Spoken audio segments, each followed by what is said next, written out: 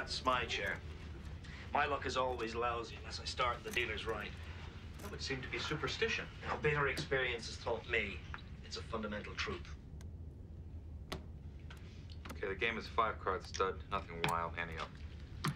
This game is exceedingly simple.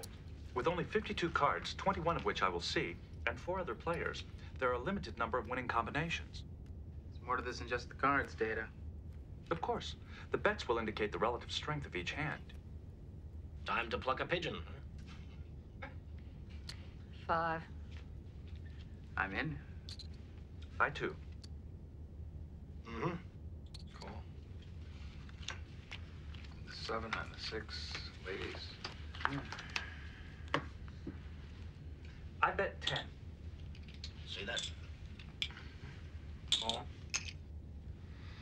Fold. Yeah, too. I'm out.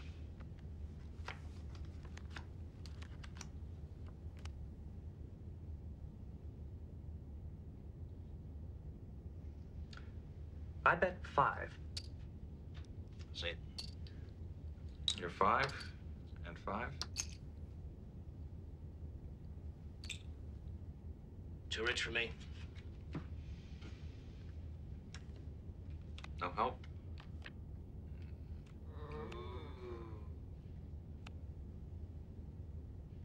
I bet 10. You're ten and ten.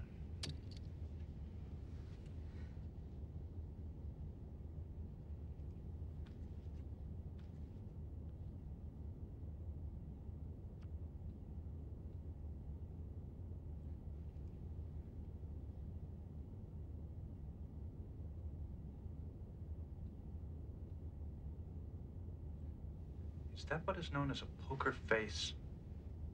Are you playing or not? I fold.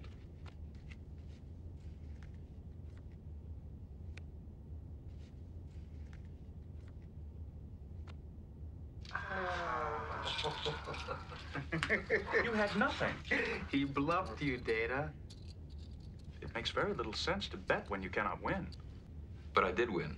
I was betting that you wouldn't call. How could you tell? Instinct, Data. Instinct.